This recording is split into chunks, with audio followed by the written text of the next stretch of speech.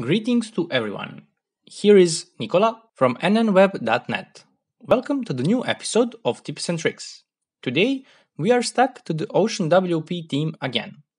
Today I want a little more tweaking possibilities for changing the content in my posts. For, exam- uh, for example, I want to change a color from for fonts, font size, and links. Here we have our post about top bar in OceanWP theme, our previous tutorial. We write it about here in our blog site on nn.web. Here we have our post. If we click here on post and click open new tab, we have our slightly gray font color, small font, and specific uh, font color in for uh, and specific um, color for our links that inherited by default color of our theme. Don't bother you with this um, information. Just put your focus on main part of page.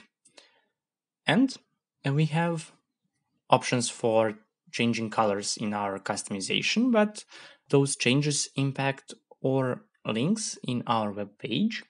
So, uh, currently, the newest version of this theme, OceanWP theme, didn't support customization of the links which are in posts only. So we need help from CSS, of course. Okay, I'm using Opera, but if you are using Chrome or Firefox, press F12 button on your keyboard or click on right click on your mouse and click on inspect element. With this, we want to target our class for this uh, content here.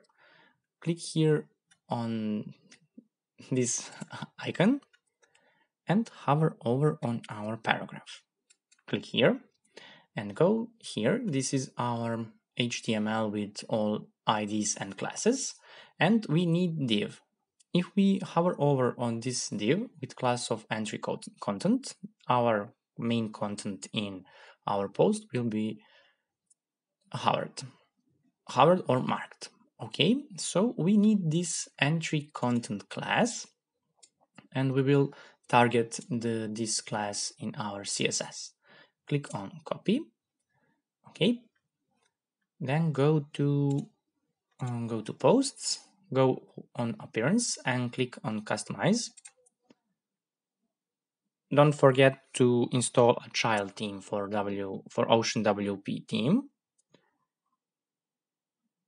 If you don't know how to use it, link will be here in top right corner. Okay, click on custom CSS and JS. Uh, paste our class with control plus V. Okay. Type one dot before our class name and open the curly brackets. Okay, we uh, need, but before that, we need to target, let's see, paragraph.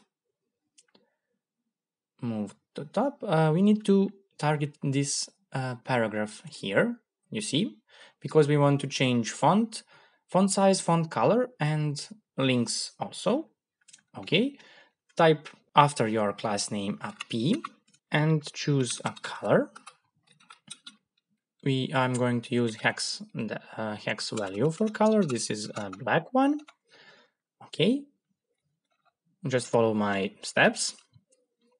Type font size. Okay. 16 pixels. Click on publish. Let's refresh our page and voila, this is our new font color, uh, yeah, font color and new font uh, font size. But what about links? Go back to custom to customizer. Again, make a copy of this. Change P to A because now we want to target our links inside inside entry content class, this one, here you see, okay, and for color, I will type orange. but you can find your own CS, uh, hex value. Font size will be the same. And again, copy this code here and paste it beneath. Now let's add a hover state for our links. Change here uh, type padding bottom to 3 pixels and add a border bottom 4 pixels solid orange. Okay, click on publish. Uh, let's refresh our page, our post.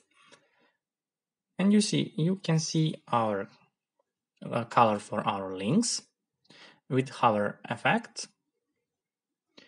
Okay, this is the short one tutorial. Don't forget to install your child theme because you need to save your CSS after the updating of parent theme. Let me know in the comments if you have another way to change those styles.